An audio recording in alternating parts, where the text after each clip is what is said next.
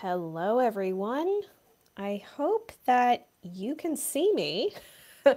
I am excited to be here today to talk about how to beat chronic skin rashes edition. This is our um, ask me anything based off of the conversation that was started on Tuesday night when I hosted uh, a one time only masterclass for my community. And was so so amazed we had over 700 people registered for that event. So if this is something that that you're looking for we are really looking forward to help in order to in 2024 start identifying the actual underlying root causes of your skin issues and then dealing with them. How do we deal with them? How do we learn the appropriate steps and the order of the steps in order to make that happen? So first and foremost i just want to remind you if you're here listening to this and you haven't done so, please make sure to subscribe to my community. That way, as we do more Ask Me Anythings, and I promise there's another one scheduled for next week, that you will always be notified. Plus, we have a ton of amazing content releasing every single day. So I'd love to make sure that you get access to it. And that way too, you can also leave your questions and comments under videos and I'm able, and my team is able to help you connect with the other resources that you need on your skin rash healing journey. So in regards to today's Ask Me Anything, I have been given a ton of questions from my community about my skin rash rebuild program. It's my signature eight week program. And you're like, wait, I don't know what this is. It's basically a process that I created from with working with clients since 2017 who have chronic skin issues and who are looking for that root cause approach with the appropriate information and knowledge base and research around chronic skin conditions because it's great to say, oh, I want to go the functional or integrative or alternative route to deal with my health and my skin. The problem is that there are no, believe it or not, there are no educational training programs for this that exist. So, there's no functional medicine training programs. There are no um, integrative training programs a lot of times people are taking this cookie cutter template of how they deal with autoimmune conditions and they're applying it or gut problems and they're applying it to chronic skin issues. And skin does not act the same way as other conditions unfortunately. And it especially does not act the same way as chronic gut problems.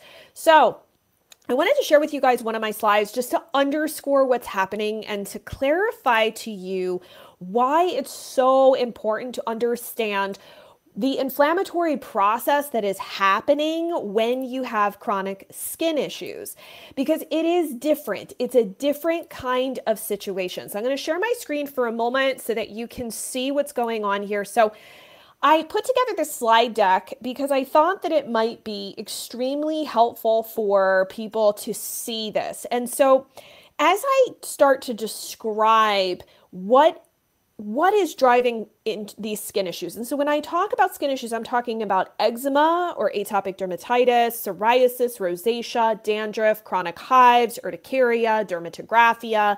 We're looking at dandruff, seborrheic dermatitis, perioral dermatitis, even to some degree topical steroid withdrawal. However, that also usually you had something, not always, but usually you had some sort of skin issue to begin with. And then the TSW piece is a secondary problem on top of whatever was already there in the first place that prompted you, unfortunately, to go to the doctor. They prescribe steroids, and here we are, unfortunately. So, what I want to share with you around inflammation is that we get so fixated on the outside, right? So, if you look at the left hand side of the screen, you'll see what you see, right? This, you know, and think about yourself. You're focused on the flaky, dry skin. Maybe you have thin or weak skin in different areas, depending on where your skin is inflamed. You may have horrible itch that comes and goes, or maybe it's there all the time, cuts, wounds. You may have hyper or hypopigmentation depending on your skin tone, what it what it normally is, because skin inflammation looks different in different skin tones. So in some individuals, their skin's going to look pink and red. Others individuals, it's going to look purple or gray even or just really super hyperpigmented and darker than what it normally would look like. You could also have pain, um, hives, skin plaques. So, especially skin plaques can be are probably more predominant in things like psoriasis, but this outside skin picture is what we see. And we get so focused around this because we're looking for the things that we can apply topically that will impact these specific symptoms. That's what we're oriented around.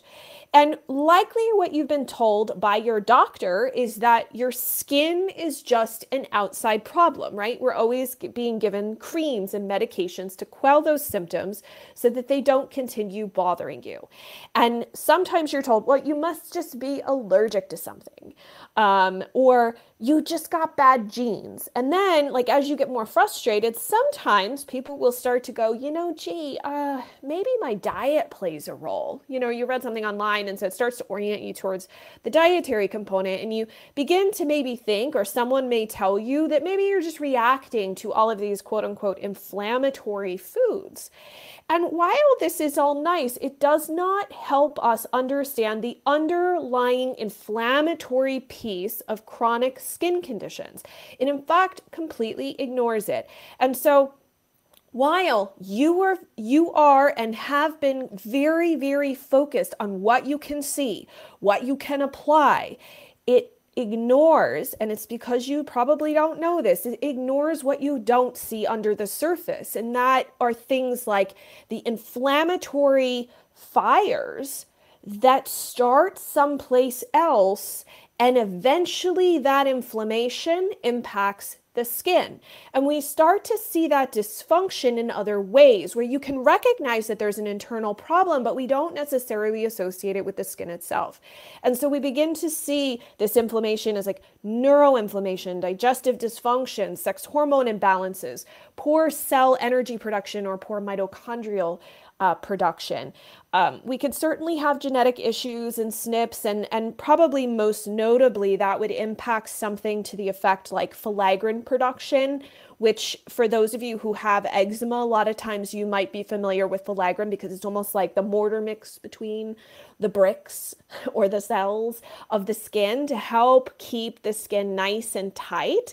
Um, the filaggrin production will drop and become of lesser quality because of inflammation. It actually causes a dysregulation of the enzyme that produces filaggrin. And some individuals, they may just have a genetic SNP that causes poor filaggrin production. So you might say, well, maybe I need to know if I have the genetic SNP. But the reality of it is, if, if we know inflammation impacts the ability of the enzymes that your body makes to produce filaggrin, we can't just blame it all on that because there's so many other things, right? We could also have poor cell turnover, allergic reactions, nutrient deficiencies, gut microbiome dysbiosis or imbalances. So, of that gut microbiome community, liver detox overload, where our three phases of liver detox are very unbalanced, usually focusing predominantly on phase two being completely out of whack and not having the tools that it needs to do what it needs to do.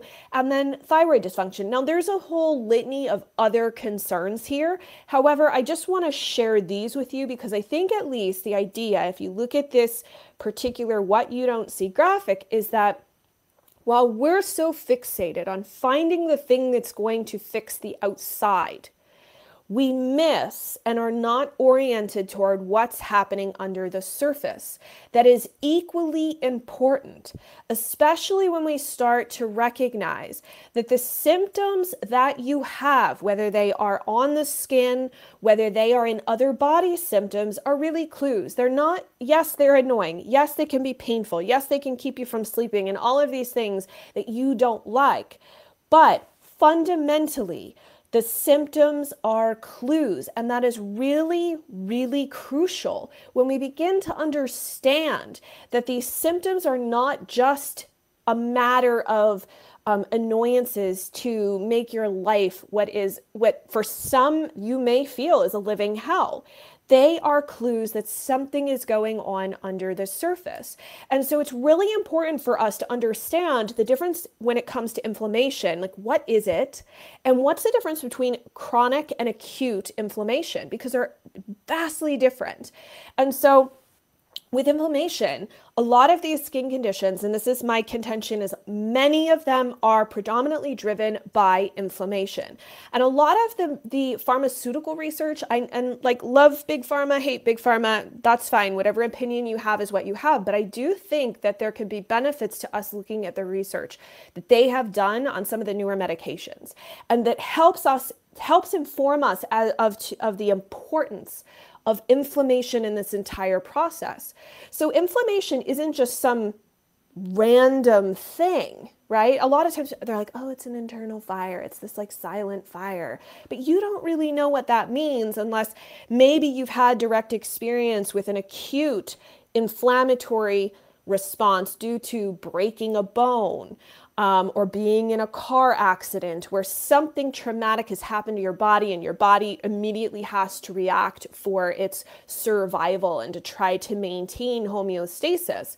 Chronic inflammation is different. It's where there is this sustained, longer term reaction happening under the surface, where we eventually start to see an elevation of these immune system messengers.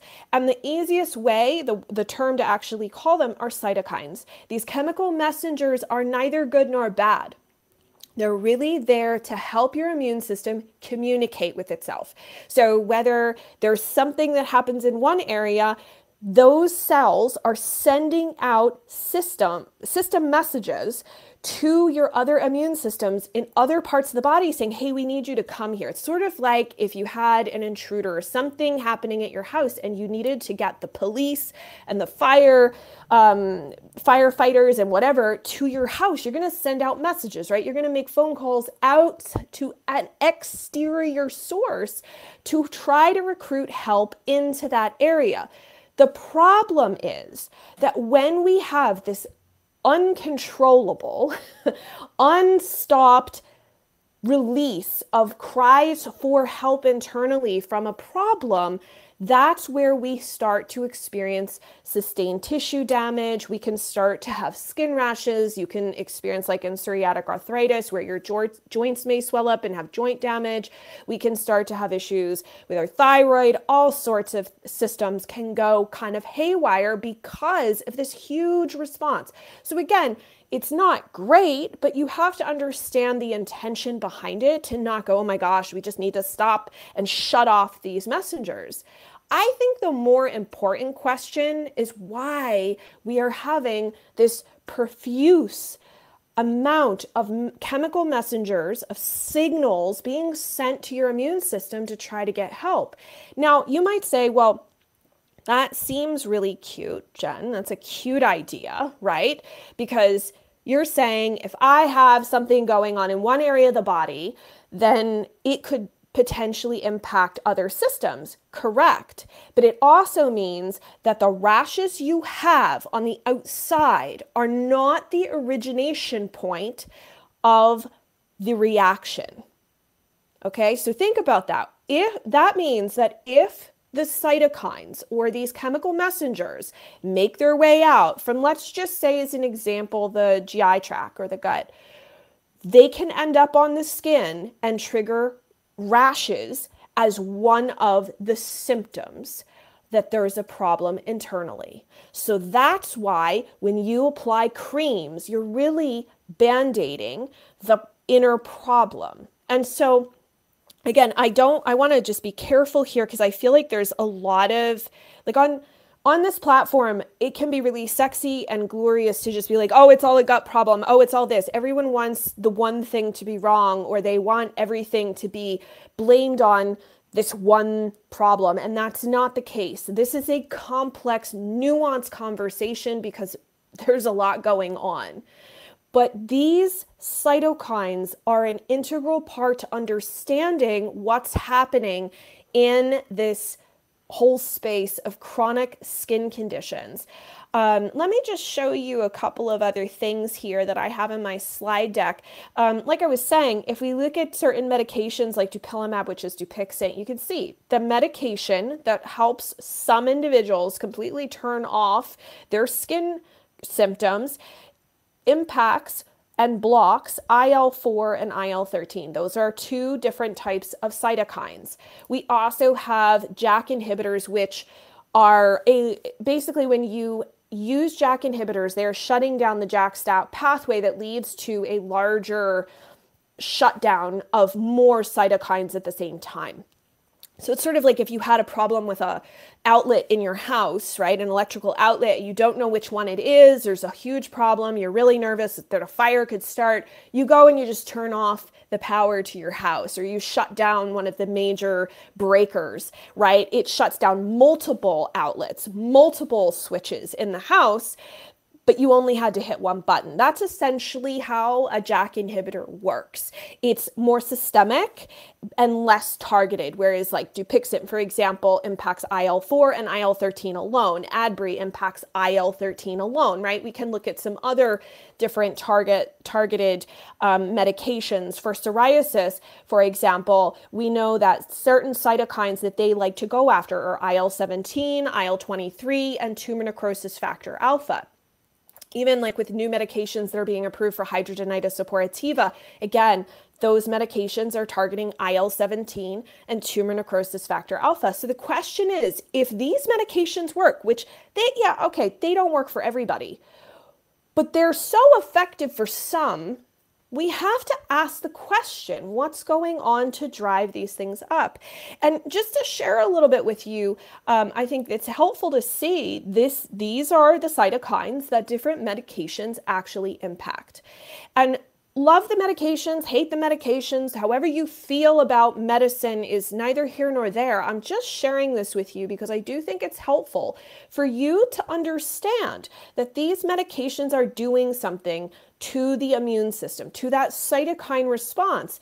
They help put a lid on a pot that is boiling over. And many of them specifically are putting a lid on certain cytokines. They're helping to block or drop the number of cytokines that are present, right? So it's sort of like if you had to make 15 phone calls, which I mean, sure, we could say it's very inefficient to have to call the police station 15 times, but now they're limiting the number of times you could call the police station for help. We're only allowed maybe one call, two calls, right?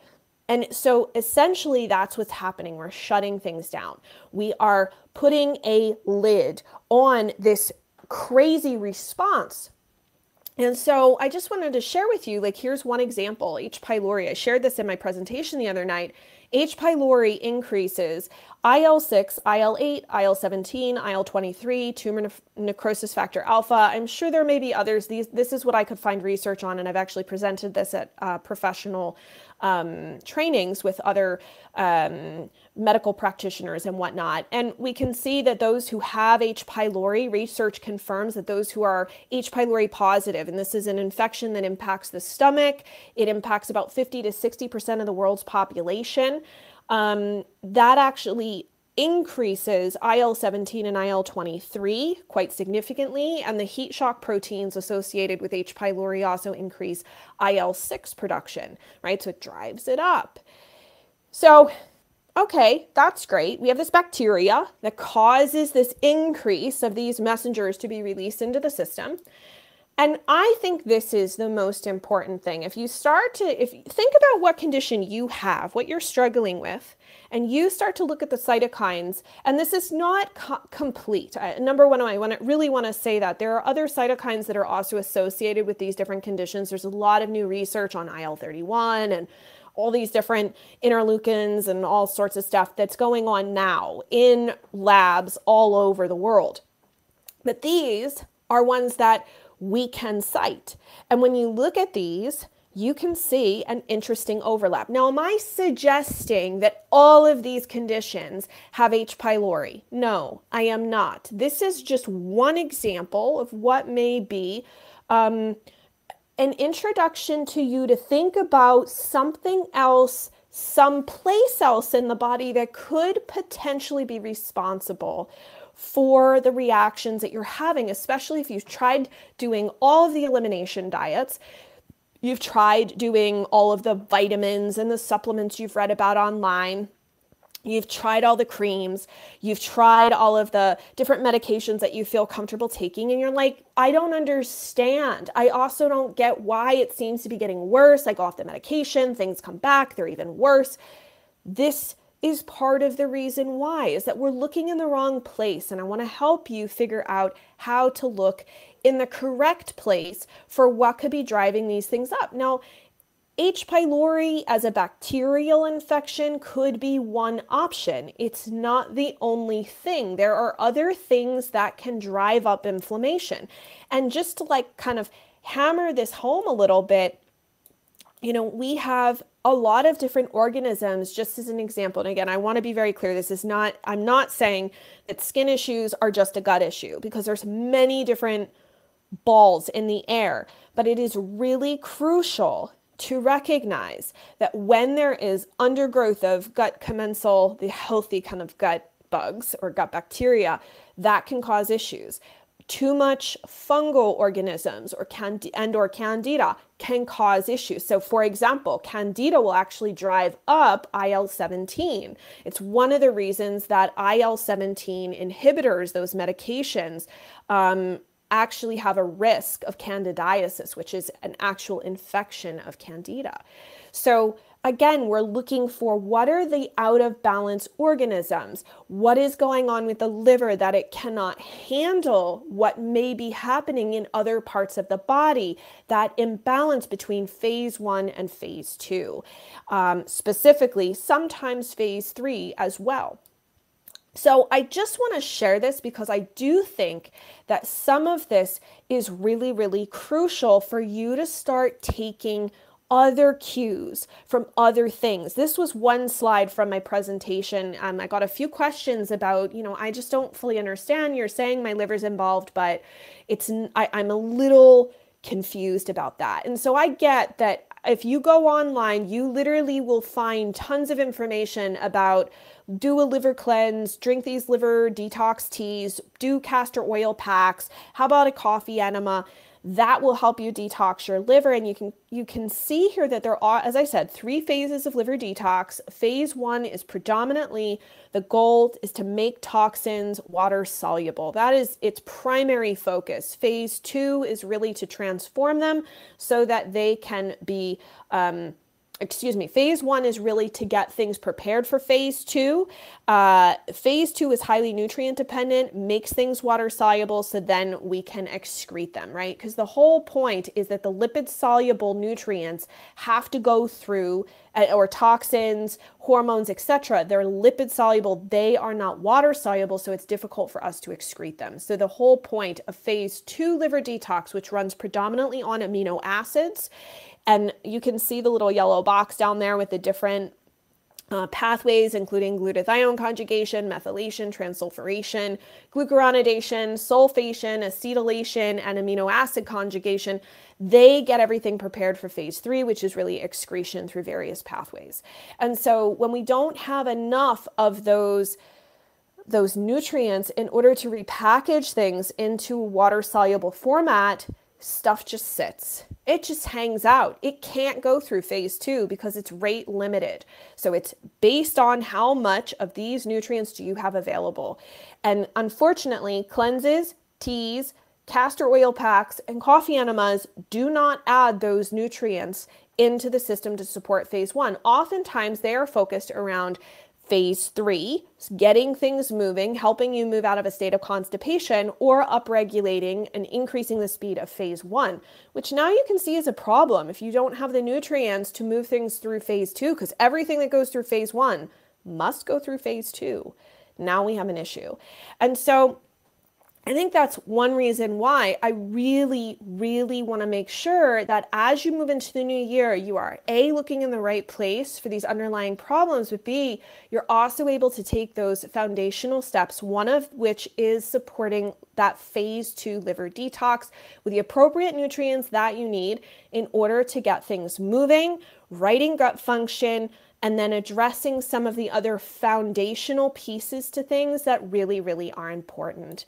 Um, so I just, I'll share this little graphic and then um, I'll answer a couple questions and we'll wrap up. But basically, we really want to start at the bottom of this pyramid, right? I created this because I find that most people like to start someplace else. They think the issue that they need to begin dealing with, for example, is their sex hormones, but you can see that it's at the top of the pyramid. And it is a higher level issue that can be drastically impacted by improving things on the more foundational level. So, liver detoxification is one of the first things that I really like to work on. Sleep, stress, if there's trauma, that is also equally important. Energy issues, um, blood sugar regulation, thyroid regulation, adrenal gland support, but also gut function. I would put gut function, believe it or not, almost on par with liver detoxification. Those are usually the first two things that I discuss with every single client and that we discuss in the Skin Rash Rebuild program. And then we start diving into the gut microbiome, but you can't start addressing and manipulating the gut microbiome until you address liver detoxification. That is super important because every waste product produced by organisms in your gut microbiome has to be processed through your liver. You don't just pee or poop it out, it has to go through your phase two liver detox. That is really, really crucial. And so, if you're now killing things, as people like to do with gut protocols, it's a real challenge because you've got a lot more of a load headed toward the liver that really needs the support. So then you try and do these protocols, you start to react, your skin flares up, you feel miserable, and this is one of the reasons why. So, this is a really great like 2000 foot view of how the steps in which I have found that you address chronic skin issues really needs to take place. Yes, there's some nuance to it all, but generally speaking, this is the best way to go.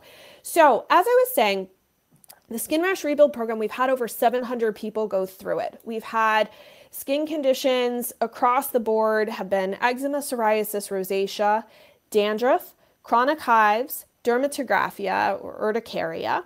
Um, we've also had people who've had TSW or topical steroid withdrawal, perioral dermatitis, tinea versicolor, um, and even some individuals who honestly were told that they don't know what they have or had just like quote unquote dermatitis. So it's a great program for you if you have been struggling. You can be working with another practitioner, especially if they don't specifically deal with chronic skin issues and they're not entirely sure um, what a more customized approach is specifically for skin. So you can take back a lot of this information to your practitioner, ask smarter questions. We also help you identify and coach you. I'm really big on coaching people on how to talk to your practitioner or your doctor about chronic skin problems, especially if we suspect that you have a skin infection. I think that is really crucially important to know if you have a skin infection and how to ask for medication, how to ask for the right tests, what blood tests can you ask? What stool tests can you ask for? All sorts of things. And so we look at this whole process in a very comprehensive way that way, you're able to customize this approach. You get to get on calls with me twice a week for eight weeks, and we go through this entire framework. There are, I believe, I think it's 17 assessments. Let's see here. I've got it written down. Yeah, we've got 17 different types of assessments for people to go through. So you get access to these, and they're shared with you in the format uh, so that you're not just like handed all of these at once. We tell you where to start, what to go through, what do the results mean, what other testing would be helpful to do. Um, these obviously can't replace um, regular labs, but they can give you a good idea of where to go, what to talk to your doctor about, what you should consider. And then we also include protocols. We have 22 different protocols that we can coach you around and help you understand the best way to use them or to talk to your practitioner about integrating these in. And so we've got a whole lot of stuff um, available to you through this program. And I've been asked, um, I was asked a bunch of questions about the the skin rash rebuild because I get that it's very different. It's dealing with a lot of different chronic skin problems, and it just seems like when you go online, you think like the solutions for say chronic hives are going to look much different compared to someone with psoriasis or someone with eczema. And by the way, eczema is not necessarily a histamine problem. Not every case is. And so we want to figure out how do we take these steps. There's some similarities and then we also show you where the conditions diverge so that if you have say psoriasis, you're going to go down this route. And if you have chronic hives, you're going to go down this route and direct you through the process to help you figure out what tests to get, what nutrients you need to look out for, um, what lifestyle changes are most helpful, what topical solutions we recommend in my clinic for these particular situations. Um, again, coaching you around how to talk to your doctor. We do talk a little bit about diet, but I'll be honest with you, I find that people lean way too hard on dietary measures. It can be a band aid and a bridge to getting some relief, but we also need to be really mindful of those who have a history of eating disorder or if you currently are afraid of food because you've eliminated so much and you're really not sure how to add it back in. So, I like to look at all of the other facets that we can lean into as opposed to just harping on take this out of your diet, this is inflammatory, this is toxic, and making you feel like you're constantly at war with food. So, um, one of the things I do want to share is the enrollment period is currently open. You can go to skinrashreset.com and you can sign up there. I'll also have the link in the description below this video if you are watching the replay. Uh, our registration window closes on Sunday, January 14th at 11:59 p.m. Pacific time, and we're pretty firm about that. So, if this is something that you want to do and we're not reopening this program for another about 9 months, if you want to get started, this is a really great opportunity to be supported. There's no judgment in this community. It's okay if you're already on medications or you're considering going the medication route, but you still want to work on those underlying integrative approaches, we can do those together and my associate and I are very well versed on what herbs, what nutrients, etc. are impacted by different medications that are commonly used for chronic skin problems as well as what you can do and what you can't do because there are some medications like immunosuppressants are one class where you have to be really careful what herbs you use. And some of them will deplete specific nutrients that you need to get tested and you need to supplement with at, a, a much higher dose than what you're going to find in like a regular multivitamin. So we're providing you with the guidance that you need that you're probably not getting, um, especially if you've been expecting some sort of integrative approach from like a dermatologist that they just don't really have that type of training. And I get it. It can be really frustrating. You you wish, right, that you were able to like go to one person and get all of the answers, but unfortunately, it's just not always the case, right? And so um, you know, I got one question from um, one person who said like they started to have issues with rosacea that started uh, this past fall. Um, they never had any skin issues prior to this.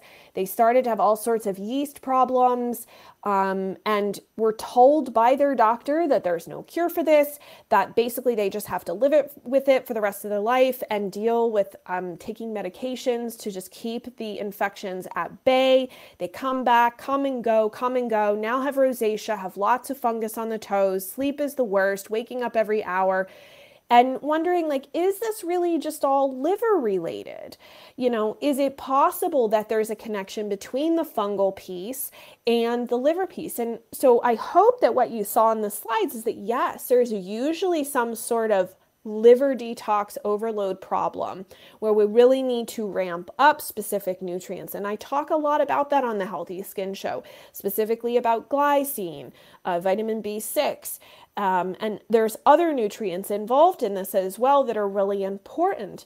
But also that interaction between the gut microbiomes. It sounds like there's a fungal problem, but what else could potentially be also going on? Because it's never just one thing. I wish it was for some people, they're like, oh, I found out that I have an allergy to dogs. I'm just, I just don't go over to my friend's house anymore that has a dog and I'm fine. Well, that's nice. Or you found out that you were allergic to something in your laundry detergent, you stopped using that with the chemical in it, and now you're fine. That's great. But that's not the person that is struggling and who has done so many things or all the things to try to get the rashes to stop. And so we're really taking a look under the hood to get that 2000 foot view and then put a plan together that helps you integrate both the conventional side and the integrative side. That does not shame you if medication is part of your journey, because I think for some individuals, they need something to help give them more runway, um, but also to say, well, you know, this whole process not only impacts my skin, right? But it also can impact other areas like my thyroid, my energy level, what and brain fog, my gut, everything. And so my goal always with clients is not just to focus on the skin. I want to see an overall health improvement. And so to, over the course of 8 weeks, we go through a ton of information. Um, you are supported completely. You get your questions answered. Yes, you can submit questions if you can't make the live calls. So there's two live calls a week. One on Tuesdays at 7 p.m. Eastern Time. And then one generally on Thursdays, though we have a couple of uh, variations to that this live round, but all of those dates are inside, and that's usually that's inside the program, so you'll be able to schedule it into your calendar. But usually they're around 10 a.m. Eastern time, and we do those specifically at two different time frames because we have folks all over the world joining us. So a lot of times people from Europe can make a Thursday call, whereas folks on the West Coast love the Tuesday night call. So it really makes it easy for you to join whatever you can. And if you can't make it live, everything is recorded. We do full transcripts for the Tuesday night calls. Um, and I also have my associate helping to answer questions in the chat. If you can't make a call and you have questions, you can submit them through our Q&A box for that particular week's calls and we answer every question. It is really important to me that we do that so that you get the guidance to know exactly what you need to do. Um, and so we invite guests in. One guest uh, is going to be somebody who's a skincare expert who comes in and during one of our Q&A calls will answer all of your topical skincare questions. Um, and then I'll also review different types of stool tests and show you, especially for that, at least the component that's associated with a gut, how we start to deconstruct the way we look at stool testing from that through the skin lens because the way that I look at a stool test as a clinical nutritionist for somebody who just has gut problems is very different from how I look at it with somebody who has eczema or psoriasis or hives or something like that where it pertains to the skin. It's very different. And a lot of times the things that we would ignore and not necessarily care as much about when there's a gut problem may actually be a lot more important to your particular problem with that's going on with your skin and in other ways systemically. So I want to show you how through different types of tests to see those types of patterns. And then of course we have the assessments and all sorts of things. So it's really truly a very supportive program and if you get to the end of the 8 weeks which Many people are working their way through. They really love coming to the class. Um, we then have a more advanced inner circle community that you can join afterwards if you so choose, where there's more calls, there's more education and whatnot. Um, but you have to go through the skin rash rebuild first. So if, if you're curious about the details, you want to check out what's involved in this program, what my philosophy is, why I'm so passionate about this, I encourage you to head to skinrashreset.com and you'll be able to check everything out there. There's also Right now, the replay is still available. I know we're getting toward the end of its availability, but you can if it's still there, it'll be at the top of the page. You can watch that if you'd like to see the whole presentation and all of the information, all of the questions you have are on that page, as well as the ability to sign up and join us. And as I said, we shut those doors down, unfortunately, for enrollment on Sunday, this coming Sunday evening, January 14th uh, 2024 at 11:59 p.m. Pacific time, and then we kick everything off this coming Tuesday, uh, January 16th at 7 p.m. Eastern.